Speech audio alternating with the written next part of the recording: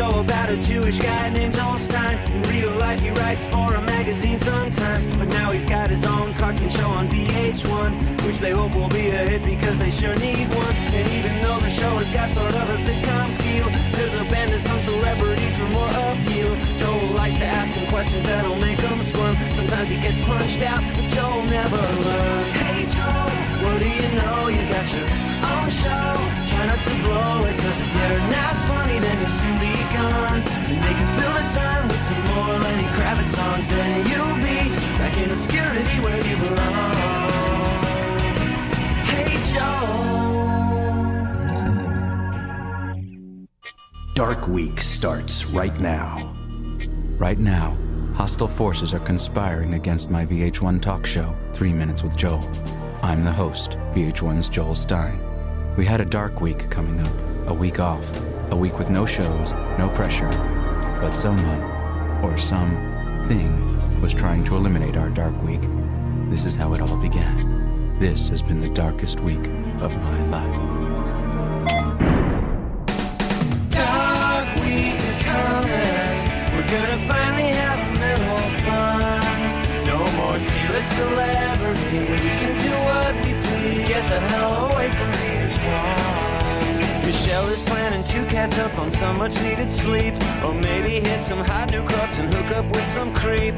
Kevin's going camping somewhere down in the deep south. Where all the locals tell him, boy, you've got a pretty mouth.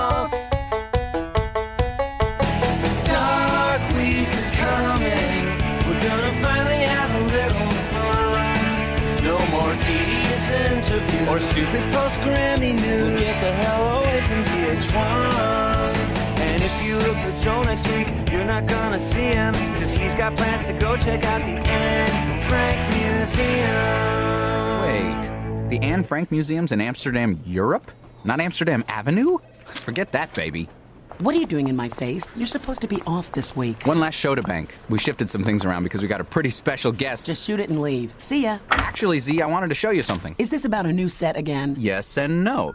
No, because it's not a set. What a word. So 1998. It's my new conversational locus. Bye, Joel. Look, I'm sure we both agree that this cramped little locus is a bit confining for three minutes that are, in their way, so big. You know that Carson Daly's chair costs more than my entire locus? Stop calling it that. And when your ass is worth as much as Carson Daly's, we'll get you a new chair to put it in. Just imagine this is my new set. I'll start by imagining you drew it better. Well, no knock against the kid, but you should have seen the Kevin version that I had to hastily scrap. It was so, you know what I mean? Architectural digesty. No, my apartment's been an architectural digest. Fantastic! What if we copy my new set straight from your apartment? Does that make you more comfortable or less comfortable with the idea? You have two chairs. That's all you need for two people talking to each other. Need? Since when is anything in TV need driven? Who needs any of these pointless programs on VH1, huh? Bad road to go down? Very bad. She hated your set, dismissed it, out of hand. Oh, gee, I stayed up all night for a week on that. You know, Z, show her a bunch of stick figures and she might react the same way. I fought for you, man. Hey, Joel, guess who doesn't have to work on his presentation speech for the VH1 Us 2 Video Awards? You mean me? No Us 2 awards for Joel? Damn! I thought you'd be happy. Didn't you say the awards show was just a bunch of lick spittle phonies shilling for the man? Exactly! I belong on that show! It was to be my validation, my public entry into the VH1 celebrity family. You're still in the family. You're just the drooly kid they feed in the kitchen. It's insulting. I fought for you, man. But Michelle, Joel would be such a perfect presenter. What a lick spittle phony. You're so lucky to have him. Sorry, Barb. The award show comes at the end of our dark week, so the Joel team is unavailable that day. I'd be there in a second, but ask Joel to sacrifice vacation time to flatter some celebrities? Whoa, watch him go off. I didn't realize he had a side. Oh, he's got a side, and you don't want to see it. Maybe I should call Barb Bander. She's always liked me. Don't. She's got a side. Um, Michelle, the Barenaked Ladies lady says we canceled on them. What? She's nuts! Our final show before Dark Week, we're not canceling on anyone. Get her back. Heard about the bare nakeds, huh? What do you know about this, Joel? Just the Elton John part. Now what? Am I supposed to go after your freaking Lucky Charms? I got us Elton John. It was one of my finest moments. I had 14 floors to convince Sir Elton to do our show. I wanted his pelt in our canoe. You'll feel comfortable doing my show, I said. Ask anyone who hasn't walked off in a huff. But I still needed that last closer. The extra time was crucial. I'll be happy to come on three minutes, he said. You unspeakable. Uh, please, save the good stuff for the show. Hey, do you think the girl on Full House looked like Princess Diana? You want to take a call from her on air? You said see you later to the Bare Nakeds because of a flimsy promise from Elton John to replace them? Stare me down all you want, Michelle, but you will see I am like one of those marksmen who can lie for hours atop a building with a Redfield telescope mounted on top of my Remington 7.62 millimeter M401 sniping rifle, never blinking. Wow, Joel, I thought you were gonna read those Tom Clancy novels during Dark Week. Maybe I got an early start. Control booth. Well, we tape in 20 minutes. The crew's here and Sir Elton isn't. Where's your pelt now, Davy Crackhead? He'll be here, Elton John just bailed. unless, you know, something comes up, like visa problems. You know what? He's famous for not getting all his shots. Now we have to come in during our Dark Week to do a fill-in show. Come on, we're not beaten yet. Who are we gonna book in two minutes, Joel? Osmond. Oh, right. Ozzy Osbourne. The guy everybody wants and nobody can get. Come on, Joel. Get real. I didn't say anything. Not Osbourne. Osmond. Donny Osmond. Donny Osmond.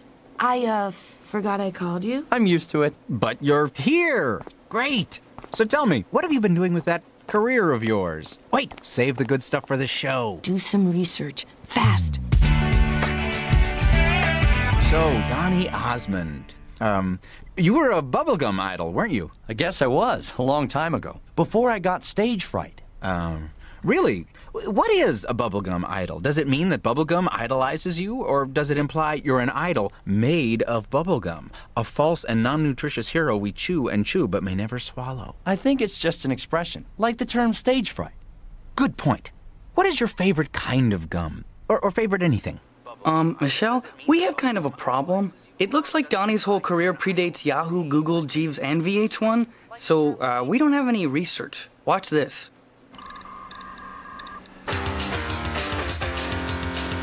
Suppose you could use a genealogy of Ozzy Osbourne's Shih Tzus. Hey, I know. Uh, your sister Marie. How's she? She's great, thanks. Other than an occasional crippling bout of stage fright. I'll tell you what's odd about stage fright. It's the way it can come creeping up on you. It almost wrecked my career. Thanks for asking me to bring my guitar along, Joel. It starts with the eyes of the audience drilling into your soul. Your nostrils fill with the stench of your self love's decay, like the last rose of summer in a hobo's underpants. Yank him? Technical problems? No way. 43 seconds to Dark Week. And here's a song I wrote about it. Back when. Why, back when I had stage fright. A million eyes are eating me whene'er I'm on TV. Lapping up my flop sweat with glee, with glee. Take my skin and wear it. Take my skin and wear it. Take my skin and wear it, and you'll feel just like me. Oh, won't you please help me, Marie? Great song. Maybe not Paul Anka great, but it's a work in progress, Joel. Joel? Well, I guess that's it for today's three minutes. I'm Donny Osmond, and kids, if you smoke or drink hot beverages, I'll be seeing you in hell.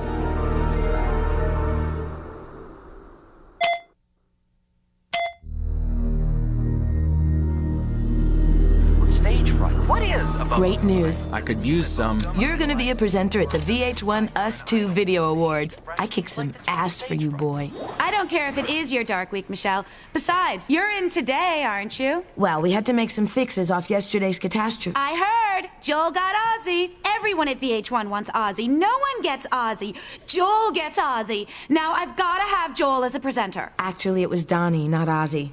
Osmond, not Osbourne. Nice try, Michelle. Look, either Joel's a presenter for us or I go over your head to Z and get him. And I'll do that. Because I have a side, and you know I have a side. See? I told you I fought for you. You want something, I don't give up till it's yours. This Friday night, that's you. Cameras? There are gonna be cameras? When you go on at 10 p.m., choice presenter time slot, there'll be muchos cameras. Cameras everywhere you look. Donny's song. A million eyes are eating me whenever I'm on TV. I can't do it. I have stage fright! Oh, give it a rest. Do you feel stage fright right now? Hmm, no, I feel frightened that I'll get stage fright. That's so different. You're a pro. A pro who had an episode. Like Margot Kidder's Toothless Wanderings, Robert Downey's surprise drop ins, Jim Jones' little tantrum in Guyana. A minor incident, nothing to worry about. Oh, I can't do it. Sure, you can. Here, let's practice. See? You do not have stage fright.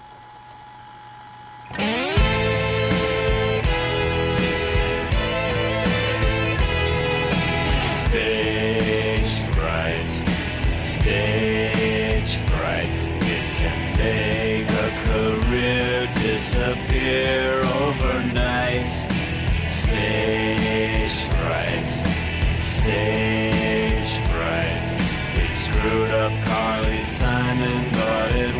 for Steven Wright. Take my skin and wear it. Take my skin and wear it. Take my skin and wear it, and you'll feel just like you're me. I'll never work again in TV.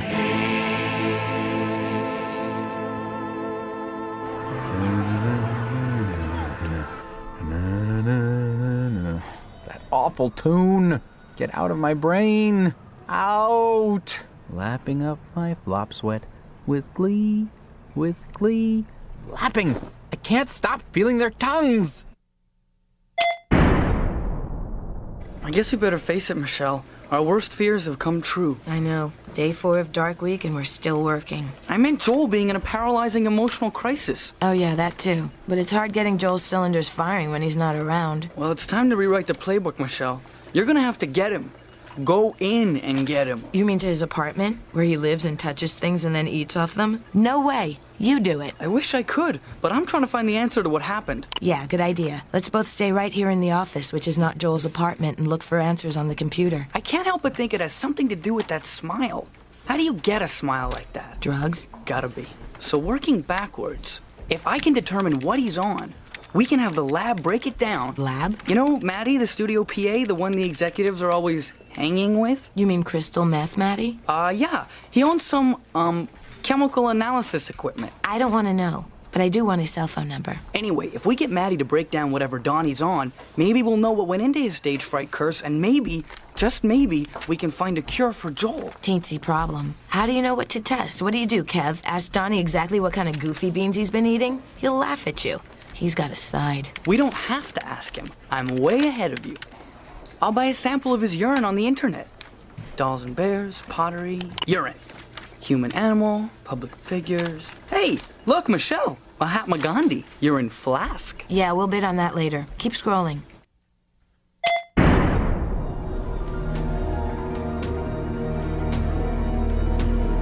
Finally, TV star urine. Network cable, male female Louie Anderson. There it is, the O's. Osbourne, Osbourne, Osbourne, Osbourne, Osbourne, Osbourne. Man, that Osbourne, guy's done some Osbourne. drug testing. Osbourne, Osbourne, Osbourne, Osbourne, Osbourne, Osbourne. Osbourne, Osbourne, Osbourne, Osbourne. It's all Osbourne. No Donny Osmond at all. He's clean as a whistle, the insidious fiend. You know where this leaves us, Michelle? Plan B. It's in your hands. Not all of it. The award show's in 36 hours and Joel's still holed up in his apartment. All right. Pray for me, Kev. I'm going in.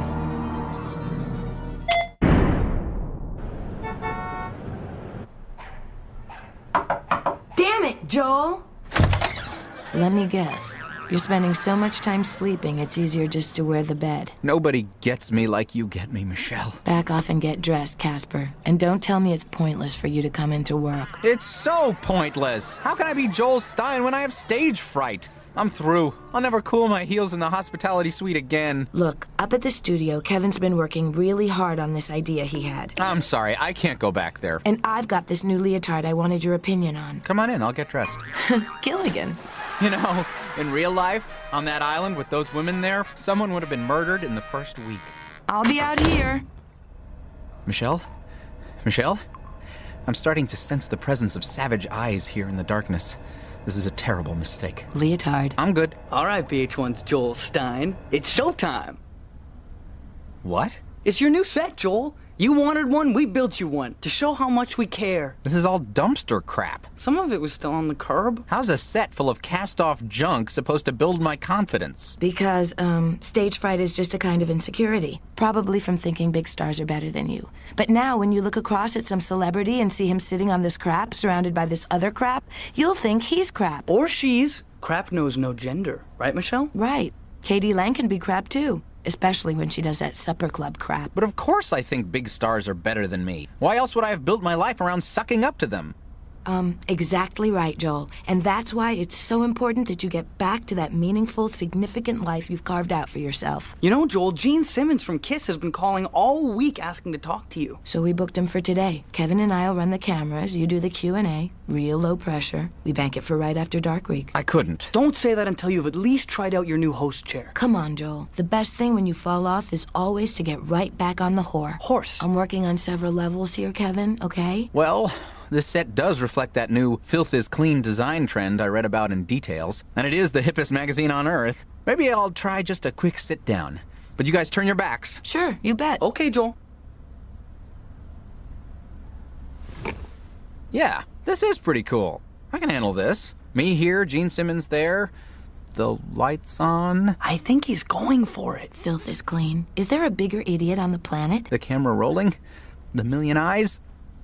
Eating me. Uh oh. Hey, Joel. In here. it's like this, bro. You should climb out now because this set is now the property of he who puts the one in VH1. That's me, the Leaf, of 60 Minutos with Leaf. Okay. What I like here is that this set is filthy and filthy is the new clean. The way last week clean was the new filthy. Cheryl, keep up with clean filthy. I'm liking it. Okay, sorry to pull rank on you, Joel, but like Elton's coming on, and when he sees this filth Mundo set, he's gonna say, Leaf, you hot dolly, you've done it again. To the Batmobile. I love saying that. Quote from Gilligan's Island, I think. Close the lid. Hello, Kiss Army! Hi, Gene. We're running behind. Then I'm too late. The rumors were true. Donny Osmond's been here and he's given Joel stage fright. You mean you know something about how Donny does it? Something. Remember when Kiss stopped touring? Please don't take me to that place, Mr. Simmons. I was just about over it. Well, contrary to popular belief, we didn't quit because we sucked. It was the Donny Osmond curse. May I sing you a tribute song I've written in Kiss style? He asked. For a goof, we said sure. Tribute on. The goof was on us. Wow. Can we talk about makeup later? You gotta focus here, kitten. Donny gets rid of his own stage fright by passing it on to somebody else with that creepy song. Now Joel's gotta do the same. I'll take the bullet. Sing to me, Joel. No, Kevin, no! Well, why not? Very noble, son. But the curse can only be passed to another performer, or whatever you call guys like Joel. Wait, if the curse can be passed on, why does Donny keep getting reinfected? These are good questions! Donny reinfects himself because he's noticed that every time he passes it on, his teeth get bigger. That's it? The guy likes big teeth. Now, heed my words. Pass on the Donny curse. Wait, who cursed Donny originally? I have already said too much! Andy Williams. Well, guys, it's obvious. I'll never be able to interview a celebrity again until I've passed along the Donny curse to.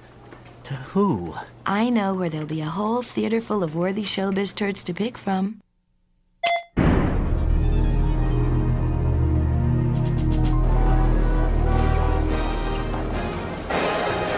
Come on, Joel. We've got to decide on just one. Look, let's just go with Celine Dion. You go, girl. She deserves it just for that. It's my curse, my pick. Elton John. He owes me. I know. Let Kevin decide. Me? Curse somebody? My minister back home wouldn't like that. Let's curse him. Okay, forget Kevin. We'll. Hey, it's like this, Joel, bro, what's up? I've pulled rank on you again. You were supposed to present next. No way I'm presenting. And Then I'm presenting again later. I am the king of the presenting. Whoa, bro, don't be looking at me like he has a side, because I do not have a side. And before I present the award for hottest ass in a video, I would like to dedicate it to the starving families of the following debt ridden nations around the world, which I've listed in order of gross national product. God, he drones on like a bee using a vibrator. Go to some candid backstage shots now. A million eyes are eating me whenever I'm on TV. Lapping up my with glee, with glee. What do you think? Catchy, right? Really? You can't find Leaf? Sure, I'll step in. What does it mean to be an awards show presenter? Is he just a cog in the machine? Or is he perhaps the machine itself? He's worse than Bono. Michelle, get him off there. You see, award winners bloom and fade so quickly. Like the last rose of summer in a hobo's underpants. But award presenters, like the fungus under that self-same hobo's fingernails, are truly the concrete asphalt mix from which an awards show foundation is poured. I remember Ozzy, Donny. Uh, good night, everybody. Worked like a charm. Where'd you get that stuff so fast? Men's room. When I saw Keith Richards asleep in a stall, I borrowed his teeth, and I got the toupee from Richie Sambora. Richie Sambora doesn't wear a toupee. So that's why he got so mad.